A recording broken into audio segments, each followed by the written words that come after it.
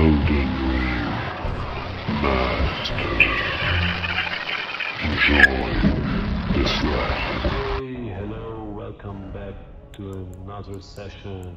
So this time we're taking down the final boss, Elden Beast, and this is the setup we're going to be using. So Falling Star Beast Jaw plus 10, Blood and Communion Seal plus 10, uh, the protection against Holy Talisman plus 2. These are the main items. And this talisman can help us really get uh, very low damage from the holy attacks we cannot be dealt. And the rest is just spamming the special attack on the weapon, and that's it. Avoid as much as you can the attacks. I'm gonna buff myself with Golden Vow, Flame, Give Me Strength, Restore Vitality, and uh, Bless of Boom.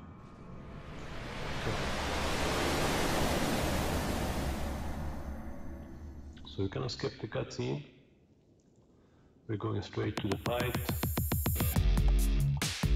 Okay, so first Radagon of the golden order, so you wanna directly, once you invoke uh, Black Knife Tiche, you wanna move away because you don't wanna be hit and you're gonna recharge the mana flask and then uh, once the aggro towards uh, Black Knife, we're going to spam the special attack a few times. Not more than two or three times in a row, depending on the opening, because you can get very aggressive very quickly. And as you can see, I'm not doing any effort really to, to avoid damage the attacks, because the damage is pretty much reduced. Not being one shot, uh, I have the talisman, and I'm also wearing all the armor I can that have the most uh, holy damage negation and you haven't seen that in the in the gift the game. So once we get to the Elden Beast, pretty much same strategy, try to avoid as much we can the attacks and spam the, the special attack on the weapon. So when you have those circle things, you want to try to roll through the beams, but it's all, it's not that simple, so do what I did, just make sure you have the most holy damage negation equipment as possible and then don't worry about it, just restore your health. The goal is really to kill the boss and not to learn how to avoid attacks. There are different ways to defeat the boss, you can learn how to avoid the attacks or you can simply go for the kill and use the, the, the needed equipment and then just go damage uh, until you deplete the boss's health. And if you reach this far, obviously you have a lot of items, so you probably didn't shuffle and try to get the best combination. At that point, that's what you want to do. So I'm happy Black Knife is still alive. At that point, that means we're in a good position. Uh, I think that's uh, pretty obvious we cannot take the Elden Beast down. That was like my sword run. Uh, and the first time I face uh, the Elden Beast, that's my first game through. So wasn't that bad compared to the bosses. Obviously I'm cheating as well, so.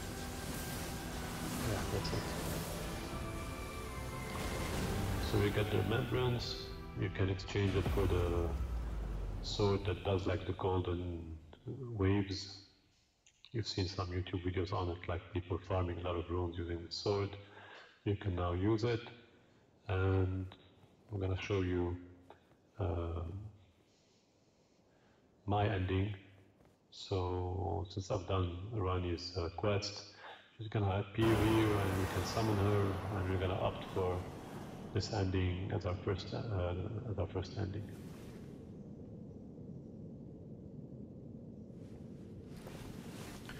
So I'll leave you to The it. battle is And over, if I you see. enjoyed the video, please do subscribe, hit a few likes, share, and subscribe to the channel to get a lot of more uh, Elden Ring content. And uh, weapon testing, armor testing, different combinations, secret loot, secret quests, and so on. Okay,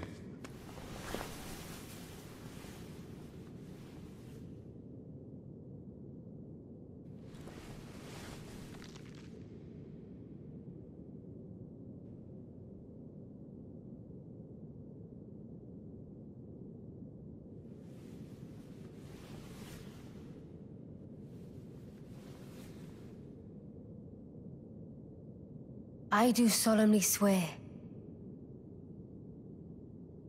to every living being and every living soul.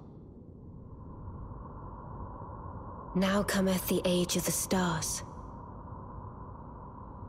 A thousand year voyage under the wisdom of the moon. Here beginneth the chill night that encompasses all, reaching the great beyond. Into fear, doubt, and loneliness. As the path stretcheth into darkness.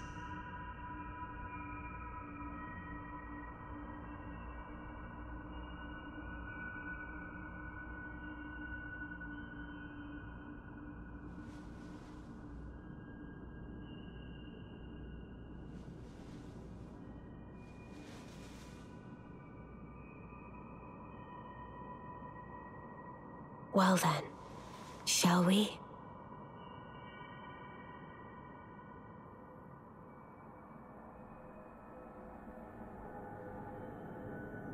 My fair consort eternal.